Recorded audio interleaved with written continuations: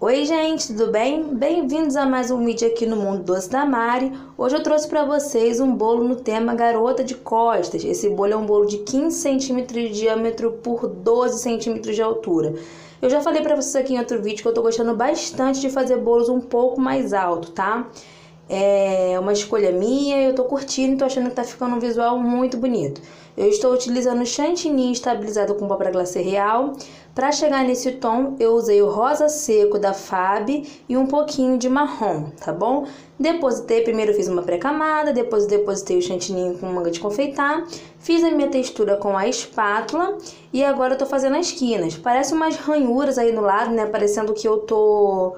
que tá parecendo um pedacinho do bolo, pessoal, mas não é, tá? É a iluminação.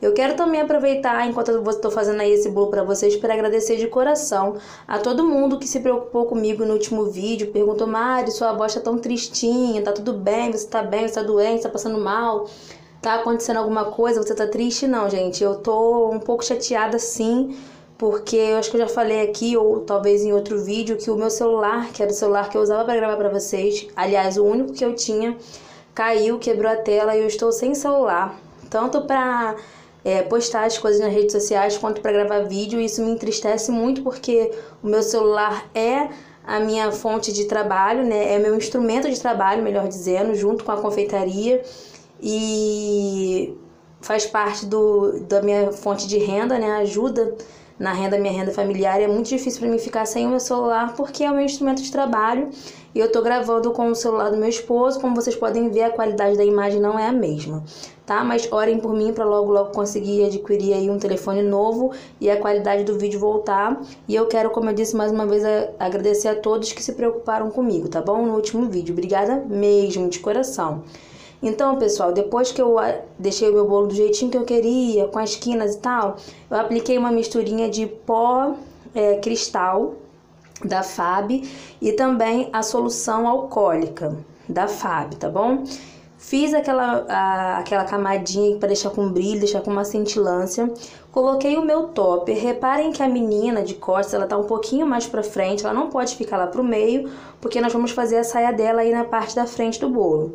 Eu estou utilizando o bico 104 da Wilton. Para chegar nesse tom, eu utilizei, anota aí, rosa seco, marrom, rosa e pink da Fab. Eu fui misturando até chegar no tom que eu queria, tá bom? E era esse tom aí. É tipo um marsala? É, tipo um marsala, talvez um pouco mais, mais clarinho que o marsala.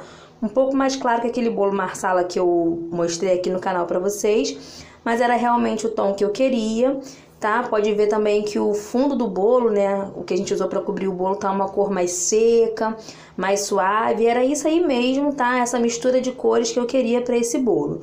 Então, esse trabalhado é bem legal, ele serve para fazer várias coisas. Eu achei que para fazer a saia da nossa garota ficou muito bom. É o seguinte, a gente vai colocar a parte grossa do nosso bolo, do nosso bolo não, gente, do nosso bico voltada para cima e a parte fina voltada para baixo. E vamos seguir as marcações, lembrando de cobrir as marcações para que ela não apareça no acabamento. Então a gente faz a primeira camada e a nossa próxima escaminha ela começa entre é, no meio da, da primeira escaminha. A gente faz a primeira e a próxima apare, é, começa é, na metade da outra, tá bom? Porque aí fica um acabamento meio bonitinho. A próxima fileira, nossa escama vai ficar entre uma e outra, igual as rosetas, que a próxima fileira sempre fica entre uma e outra. Então, no caso das escamas, a gente vai fazer igualzinho. Gente, eu tô muito feliz porque a minha casa tá quase pronta e é por isso que eu não comprei um celular ainda, porque eu gasto todo o meu dinheiro com obra. Então, eu quero convidar para vocês irem lá no canal Cantinho da Mari para quem ainda não conhece, conhecer o nosso cantinho, ver como tá ficando a nossa casinha e participar, compartilhar dessa alegria conosco, tá bom?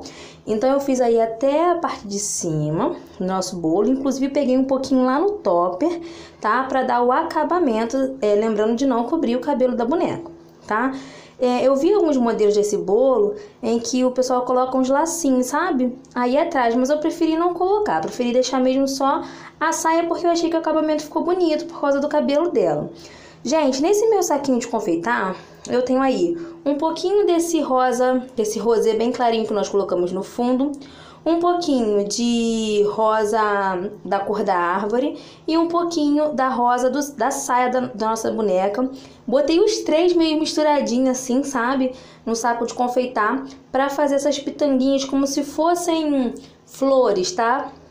da árvore que estivessem caindo ou algo do tipo.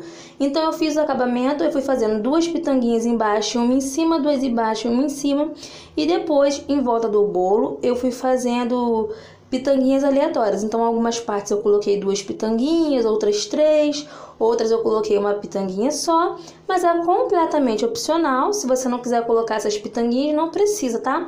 É porque eu achei que ia ficar bonita, ajudar a dar acabamento no bolo, ia trazer um pouquinho de cor também para essa parte que tá mais clarinha, tá bom? Então, eu optei por colocar essas pitanguinhas assim mescladinhas que eu acho que lembra bastante lá as flores da nossa árvore, tá bom?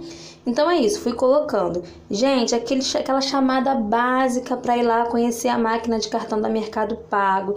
Se você tá aí querendo adquirir uma máquina de cartão, corre, o link tá aqui embaixo no box de informações.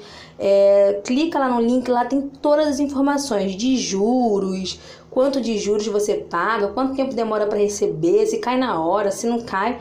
É só clicar no link e ler as informações. Não esquece de aproveitar essa oportunidade, porque são 50 reais de desconto, tá?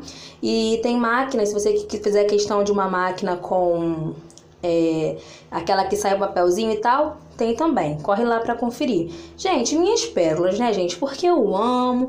Já disse para vocês um milhão de vezes, é super opcional, não precisa colocar caso você não queira, mas eu amo. Eu acho que dá um charme, acho que deixa lindo o bolo e eu não abro mão das pérolas, pessoal. E tem um vídeo aqui no canal ensinando bem direitinho como fazer essas pérolas comestíveis usando um confeito de açúcar.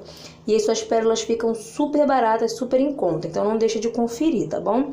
Então eu coloquei algumas na parte de cima e apenas algumas na parte da frente. Três de cada lado. Mas se você quiser, pode preencher toda a lateral do bolo com as pérolas, tá? Pessoal, esse é o resultado final do nosso bolo de hoje, meu primeiro bolo da Garota de Costas. Eu gostei bastante do resultado. Se você gostou, não se esqueça de dar um joinha, se inscrever aqui no canal se ainda não é inscrito. Se não segue a gente no Instagram, arroba Mundo Doce Tamari. Se não participa do grupo e da página do Face, é Mundo Doce da Mari também. Lembrando que no final do vídeo vou deixar para vocês uma fotinha do nosso bolo e lembrando também que o vídeo onde ensina a fazer a foto com o fundo preto tá lá no canal Mundo é, Cantinho da Mari, tá bom? Um beijão para todos e até um próximo vídeo. Tchau!